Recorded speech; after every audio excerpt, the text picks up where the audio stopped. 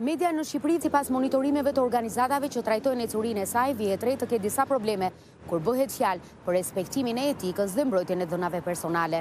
Këshilli Shqiptar i Medias pas një monitorimi të 30 mediave online, por dhe të faqeve online të disa televizioneve vëren se vetëm në një ditë kryhen 8 deri në 9 shkelje të etikës.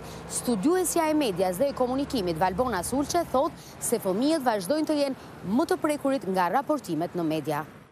Fëmijët janë të pambrojtur nga raportimi i të dhënave personale, sidomos kur bëhet fjalë për abuzimet seksuale. Në kodin e transmetimit theksohet në mënyrë eksplicite, ndalohet transmetimi i të dhënave personale i të gjithë fëmijëve të cilët kanë qenë viktima ose dëshmitarë të një rasti abuziv seksual. Pra nuk thuhet të shmanget, siç mund të jetë në raste të tjera, por thuhet ndalohet. Observatori për Mbrojtjen e Fëmijëve pas një studimi konstaton se në dyzet për qind të rasteve në media jepen të dhëna të tërthorta në lidhje me fëmijët viktima të dhunës apo abuzimeve seksuale duke bërë që të dhënat personale të tyre të zbulohen lehtësisht. Kemi qenë dëshmitarë qoftë edhe të ngjarjeve të ndryshme publike ku faktori fëmijë jo vetëm ka pësuar dhunë nga momenti që ka ndodhur, Po dhunën më të madhe e ka marrë më pas nga opinioni publik, nga mënyra se si media apo aktorë të ndryshëm mediatikë e kanë bërë lajm këtë lloj informacioni. Dhe si e tillë kemi arritur deri në faktin dhe momentin që familja vendosi të braktiste vendin me gjithë fëmijën pikërisht për të shpëtuar jetën e fëmijës që ishte tashmë ishte në një kaos dhe ishte identifikuar dhe ishte në një traumë vetë fëmija për atë që kishte pësuar. Zonja Tërshana thotë se gjatë një monitorimi u vu re se vetëm në dy për qind të rasteve media fokusohet në zgjidhje.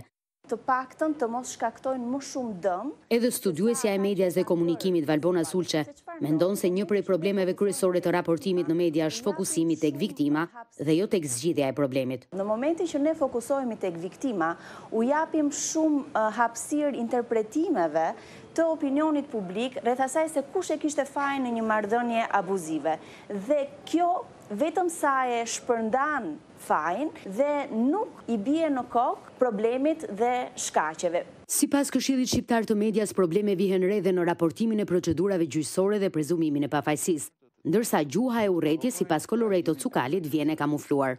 Pra gjuha e urrejtjes u lihet komentuesve, por nganjëherë janë shumë të dukshme përpjekjet e medias vetë për ta provokuar nëpërmjet mënyrës se si e formulojnë apo se si e hedhin lajmin.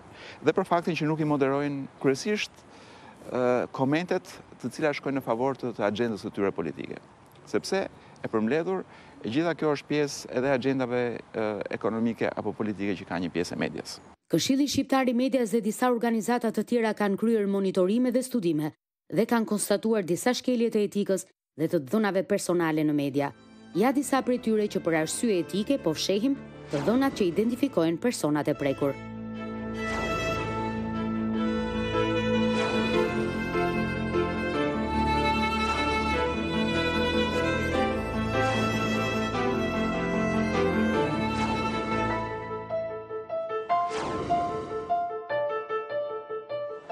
Autoriteti i Mediave Audiovizive është institucioni tek i cili sipas ligjit mund të adresohet një ankesë për shkeljet e etikës.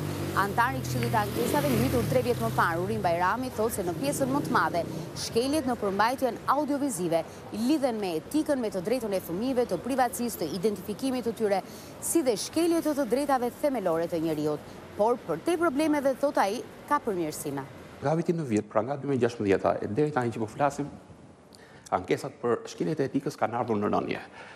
Për fat të mirë edhe reagimi i operatorëve audioviziv ka qenë ka qenë pozitiv.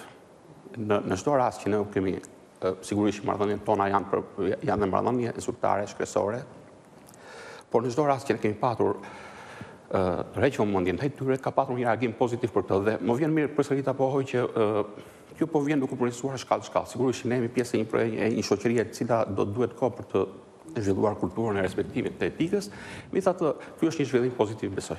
Por përfaqësues të shoqërisë civile janë kritikë me këtë institucion që vihet në lëvizje sipas ligjit vetëm pas një ankese, por zoti Bajrami thotë se ndërhyhet edhe kur nga monitoruesit në AMA konstatohen shkelje dhe se masat ndëshkuese janë gjoba nga dyzet mijë deri në katër milionë lekë. Në momentin e parë vihemi në lëvizje kur vjen një ankesë, por edhe në funksion, në organizimin e brendshëm që kemi vetë si njësi brenda AMA-s, normalisht që vihemi në dijeni edhe për në shkelje nga monitorimi që kryhet nga drejtoria e mbikëqyrjes. Sigurisht që kemi shumë materiale për vizionim, dhe në fund dalim me konkluzionet përkatëse. Të dyja së bashku e drejta për informim dhe mbrojtja e të dhënave personale, Komisioneri për mbrojtjen e të dhënave personale thotë se janë vërejtur disa raste shkeljesh në raportime gjyqësore dhe prezumimin e pafajësisë, Ai thotë se bashkëpunimi me mediat ka qenë efektiv dhe se përmirësimet janë të dukshme. Më duhet të them që ashtu si dhe në gjithë sektorët e tjerë edhe media ka bërë hapa shumë të rëndësishëm përpara për sa i përket edhe mbrojtjes së dhënave personale sepse kjo është ajo që është objekt i bisedës tonë. A ka për të bërë? Natyrisht që ka shumë për të bërë. Por nuk jemi në stadet fillestare ku askush nga mediat, askush nga gazetarët, besoj bashkë e kuptojmë këtë problematikë, nuk ia kishte idenë ose informacionin më minimal se çfarë është mbrojtja e të dhënave personale.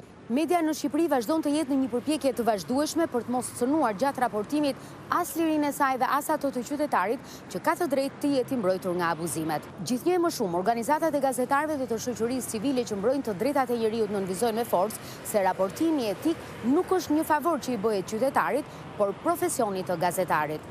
Për Zërin e Amerikës, Mimoza Picari, Tiranë.